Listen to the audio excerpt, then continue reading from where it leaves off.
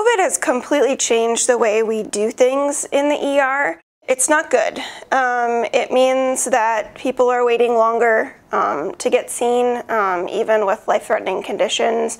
Um, and, you know, I work obviously here at Ruby, but also at UHC and other places.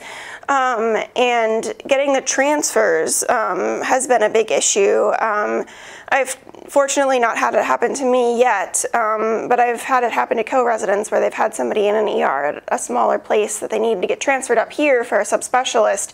And because of the bed delay, I mean, they've had patients actually die in the ER on them um, of treatable conditions because we can't get them transferred because we're too full, which is just inexcusable as far as I'm concerned all of that is you know because of covid because that's why we're so full and so overwhelmed and you know it's just horrible to have have those things happen. Things that two years ago we would have just gotten them up here gotten them treated and everything would have been fine.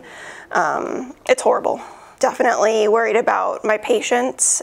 In the er we go from seeing newborn babies to cancer patients to I mean to everything in between and, and COVID patients are certainly within that mix. And you know if I if I were to get it from a patient you know and then bring it to a cancer patient or you know a newborn baby I mean that would be that would be horrible.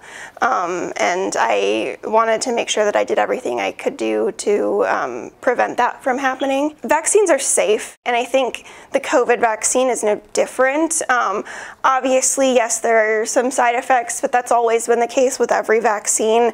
Um, but you know, as far as I'm concerned, the benefits are far outweigh the risks, um, and I, I absolutely think it's the best thing that you can do to protect yourself, protect your family, your friends, and your patients entrance.